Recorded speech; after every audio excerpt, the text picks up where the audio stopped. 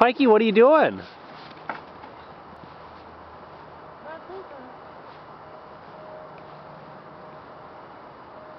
Come here, Pikey. Careful, the alligators will get you out of the lake. There's no alligators in there. Just snapping turtles. Does he know what those are? Apparently he does. I saw a snapper like this big underneath our dock one night. It scared the hell out of me coming in the little boat.